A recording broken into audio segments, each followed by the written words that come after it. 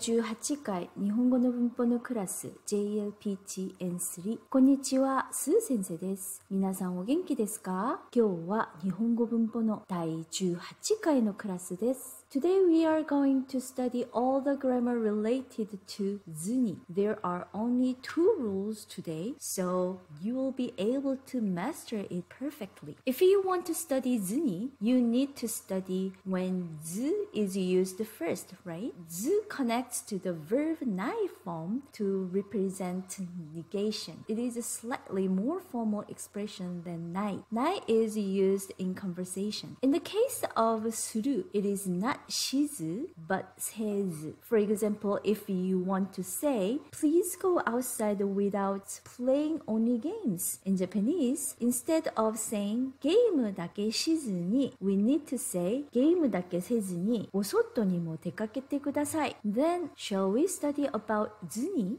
Number one, zuni, meaning is without doing. Formation is verb ない form, remove ない and attach zuni. The meaning is the same as ないで but 図に is a little more formal style. Let's make example sentences together and find out how this grammar is used in sentences. If you exercise without eating protein, it is difficult to build muscle. プロテインを食べずに運動すると筋肉ができにくいです。I came today without knowing that this shop was closed. 今日はこの店が休みなのを知らずに来ました。 た。I took the test without studying, so I failed. 勉強せずにテストを受けましたので失敗しました。I went out without telling my mother, so my mother got angry. 母に言わずに外に出かけていましたので母に怒られました。I drink coffee without sugar. 私は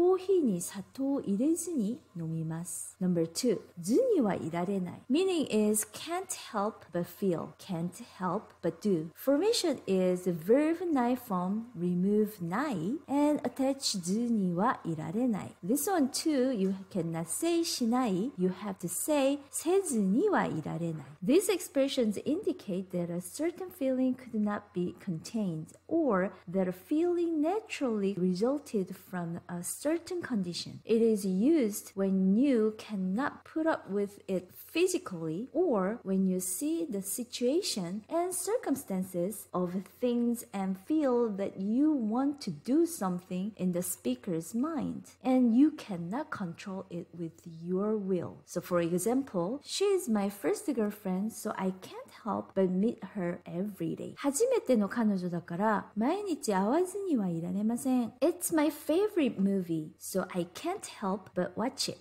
面白そうな映画だから見ずにはいられません。The cream buns in this shop are so delicious that I can't help but eat them.